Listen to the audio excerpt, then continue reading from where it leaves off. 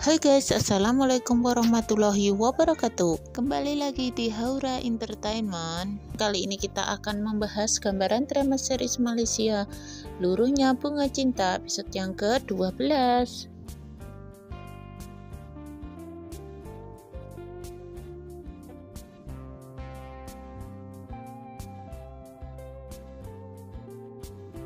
Pada episode ini akan menceritakan nasib cinta Nuh dengan Nuha.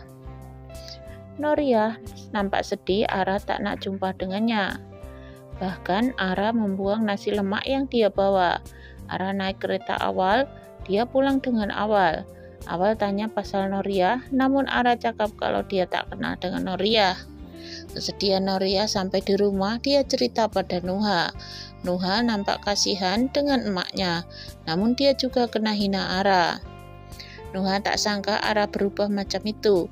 Nuha sepertinya akan jumpa dengan Ara dan dia berani untuk marah pada Ara.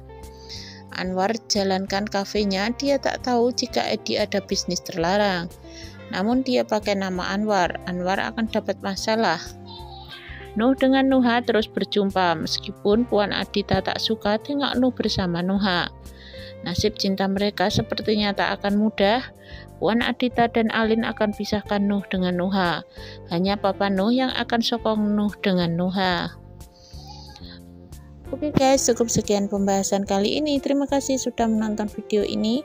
Jangan sampai ketinggalan update selanjutnya.